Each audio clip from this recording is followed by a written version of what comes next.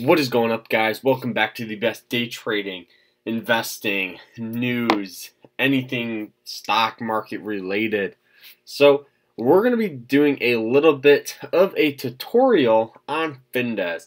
So, for those of you that do not know what Finviz is, it is a free scanner for stocks. Scanners are the best way to find stocks to trade on a daily, weekly, or monthly basis.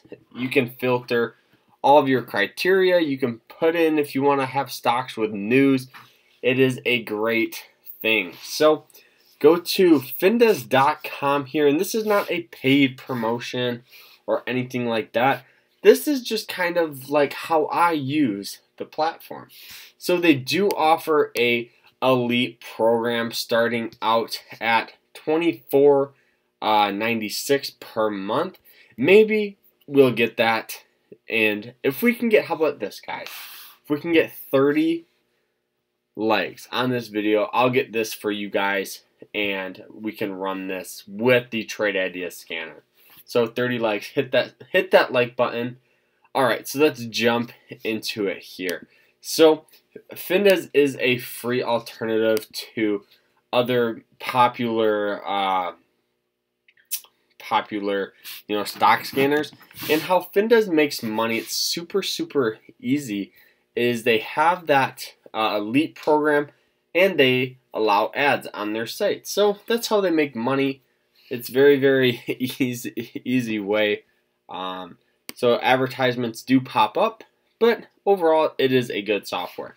So for the elite package, the elite package is all real time and the uh, free package is delayed 20 minutes. So I would not recommend this for actually day trading, but more for swing trading or even long term investing you can look at to find stocks because you can still look at stock charts and everything like that. So uh, this is the home page right here. So as you guys can see, we have the Dow Jones, Nasdaq, and the S&P 500. So this is pretty much just the overall market um, and you guys can see we're green on the day, uh, which is great. So now in the uh, middle, you know, the middle left, I guess, uh, we have the top gainers, stocks with new high, overbought, unusual volume, and all that stuff. So these are stocks that mostly are going up.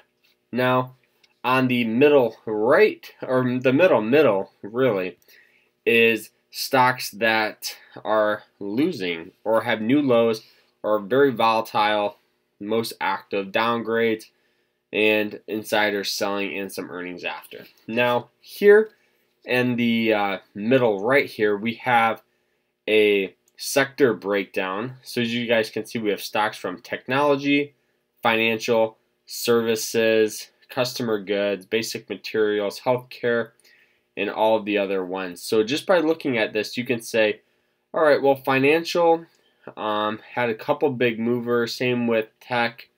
Uh, services was down, a lot of green. Uh, utilities is down.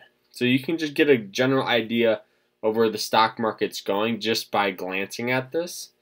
So as you scroll down here, uh, they do have a little signal chart here, which is pretty cool.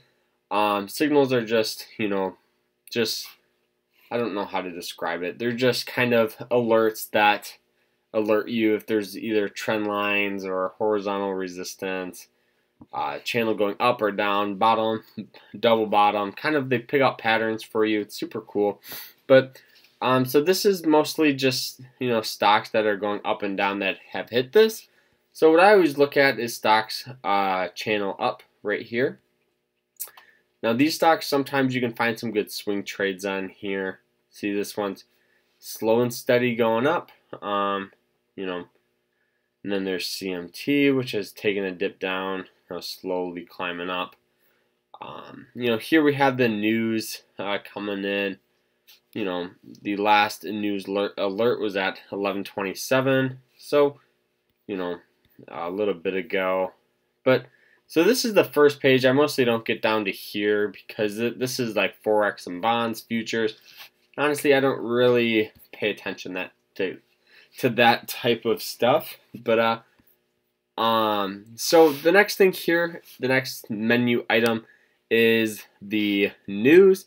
Now the news is very, very simple. They have the news on the left and then blogs on the right. So you can kind of see what's going on in the market. You can find different things that you find interesting. You can just click on them and it pulls up the article and you can read it. So it's pretty cool. You know, you can look at stocks and kind of see what's going on with that.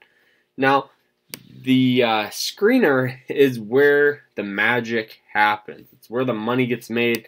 It's where the uh, it's where frickin' every everybody makes the money here. All right, so here we have all of the filters on the stock. I like to just put them all together.